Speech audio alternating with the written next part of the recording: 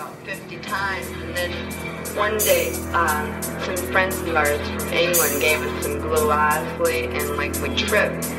And I had on this really low cut vest, you know, and, and this really risque outfit. And I looked in the mirror and I just said, wow, you fucking whore, what are you into?